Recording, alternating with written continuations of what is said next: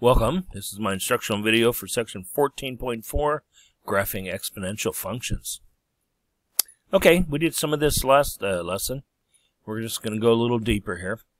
So you probably want to start out with your Chromebook, go to desmos.com, and then when you load that, you should get a big red button that says Start Graphing, and then bam, get into it. Start graphing. So when you graph, you get your screen that looks like this, and then you just enter the equations here. So for the first one, our equations will look something like this. And then I've copied those into the notebook file here. So there we go. So 2 to the x, 4 to the x, 6 to the x. I did not do this one here. Oops. So we're just going to cross that bad boy out. All right. So 2 to the x, that is the red one. 4 to the x is the blue guy. So this is the blue guy right here. 2 to the x is the red guy, and 6 to the x is the green guy. So what do you notice going on here? We should notice that all of them go through this common point right here. So that's because there's a property that says, hey, any number that's not 0, that's raised to the 0 power, is equal to 1. And then goes from the exponent rules. And, you know, if you miss class, I'll explain in class. I'm not going to spend the time here but that's where it's derived from. So that's just a property you're supposed to know. And you should know that from 8th grade, by the way. That's when the exponent rules are covered. Okay. So what do you notice about the red, uh, blue, and the green guy? Well, as the base gets bigger, notice we go up faster. So we start out going up kind of okay right here. And now we go up faster with the blue guy, faster with the green guy. And then the same thing going down. Now to the left here, we're going down towards zero because that's how all these work. So there's a horizontal asymptote here. So we're going to approach zero, get closer and closer to zero for all three of these functions, but never get there. But it goes down faster the bigger the base is.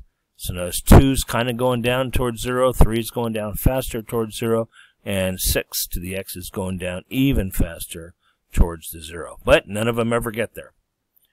Okay, so that's one of the cool things about these exponential functions.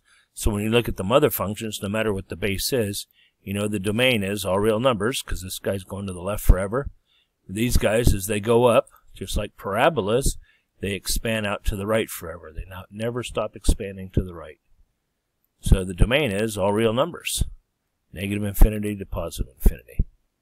And then the range is y is greater than 0 or an interval notation from 0 to infinity. And 0 being open because it can't equal 0 because 0 is actually an asymptote there. Okay, next slide. Now we did this one in the last uh, lesson, I remember that. So 2 to the x, that's the red guy. Uh, 1 to the x is the blue guy. And then 1 half to the x power is the green guy. So if the base is bigger than 1, we get an increasing function. If the base is less than 1, then we're going to get a decreasing function. And then for word problems, we call this guy a growth problem, and this guy here will be called a decay problem. So the word problems for exponentials are growth and decay problems. Now, so we're going to start here. I'm going to go to blue. So identify A and B here in the y-intercept. Well, the base is 2. So that's the that's the B. Okay, A is the vertical stretch. Well, there's no number times this, so there's just that assumed one that's always there. So this is the mother function, 2 to the x. So notice when x is 0, 2 to the 0 power is 1. When x is 1, 2 to the 1 is 2. Okay, I graphed the first one in the wrong silly spot. Let's try that again. So when x is 0, y is 1. When x is 1, y is 2. And when x is 2, because 2 to the second power is 4, and when x is 3, 2 to the third power is 8, we're already off the graph here. And then to the negative 1, 2 to the negative 1 is 1 half, 2 to the negative 2 is 1 fourth, 2 to the negative 3 is 1 eighth, 2 to the negative 4 is 1 sixteenth, etc. So there's our graph approaching 0 on the left and going up towards infinity on the right. So 4 to the x. So I'm going to do that in a light color. Let's do the light green. So 0 comma 1. So, and we're, we're going to ignore the 3 here for the moment. We're just going to graph 4 to the x. This guy right here. So when x is 1, y is 4. When x is 2, y is 16. We're already off the chart. And then when x is negative 1, 4 to the negative 1 is 1 fourth. 4 to the negative 2 is 1 eighth. Actually 1 sixteenth. 4 to the negative third is like 1 over 64. It's like so close to 0. It's crazy. Okay, so it's looking like this. Man, it goes off the chart fast. Now, what happens when we do the 3? That's the question here. What happens when we do the 3? Well, that's a vertical stretch. That means everybody's 3 times bigger. So instead of being 1 away from 0 right here, this is going to be 3. And instead of being 4 here, that's going to be 3 times 4, which is 12, which is already way off the scale.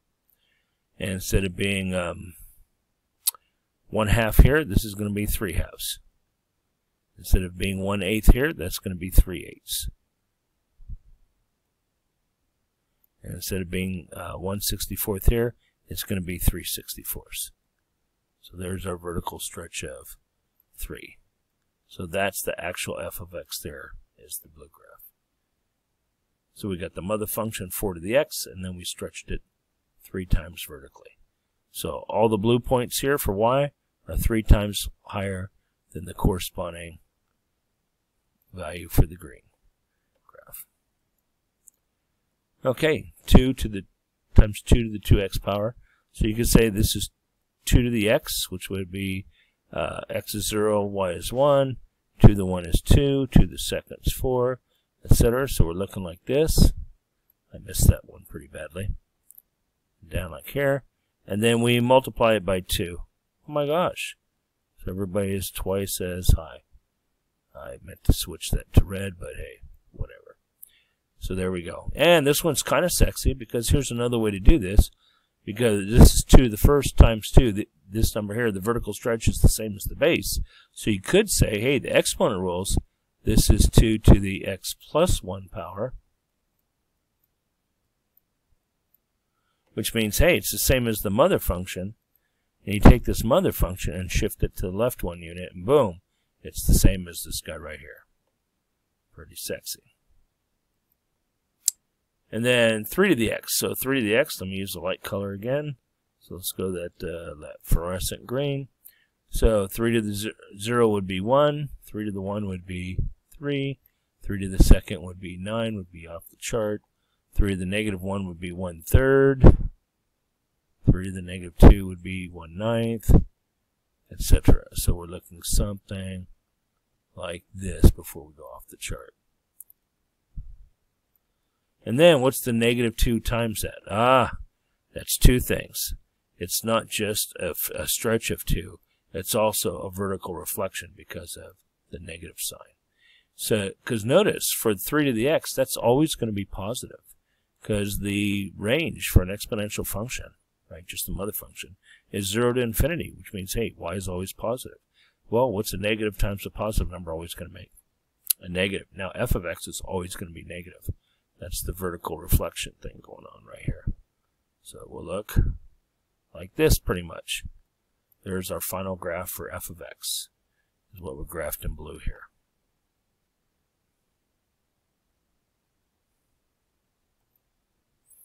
So we got 3 to the x power, and then times negative 3.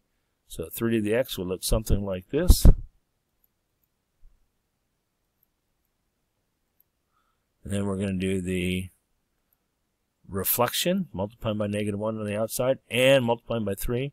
So we're going to stretch it 3 times as far and reflect it. So the red guy here, that is a picture of f of x. And it's special here because the vertical stretch is negative 3, but if we separate and call this negative 1 times 3, then the 3 part is the same as the base of 3 to the x power. So you could say this is negative 1 times 3 to the x plus 1 power. And that would be the red guy as well. So it'll be a vertical reflection, a stretch of 3, and a shift to the left one. And then 1 half to the x power. So that means this is going to be a decreasing function. So 1 half to the 0 is 1, 1 half to the first power is 1 half, 1 half to the second power is 1 fourth, 1 half to the third power is 1 eighth, 1 half to the fourth power is 1 sixteenth, etc., etc., etc. We've got our decreasing function approaching the horizontal asymptote like that. And then we have 3 times that. So if I go back there, oops,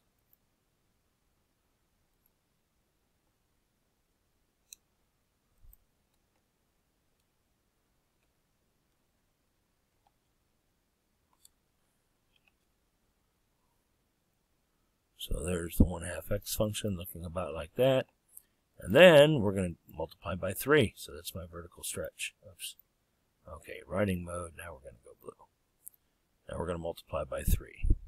Actually, just do it in red. So 3 times 1 is 3. 3 times like 1 half here, it'd be 3 halves. 3 times, uh, this should be 2 here. So 3 times that's going to be 6 way up here, so boom. There's our stretch of 3.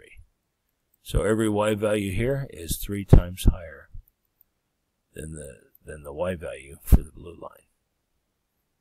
That's what the stretch of 3 means. And those are all of our examples. So it's pretty straightforward. Okay, you can replay this at will. But we covered three things basically. What happens to the base? As the base gets larger, what happens to the shape? And basically, if I'm if the base is larger than 1, it's an increasing function. It looks like kind of a backwards L. And then if the base is less than 1, it's going to be a decreasing function, which is kind of in the shape of an L. I'm thinking like L like this, right? and then uh, we talked about uh, multiplying by negative 1. So you get a vertical reflection. So boom, this guy gets reflected this way. The other guy gets reflected vertically would look like that. And then we can do some kind of stretch. So on the next lesson, we'll do some shifting. Shifting up, down, left, and right. But that concludes the lesson for this guy, which is 14.4. Ciao, baby.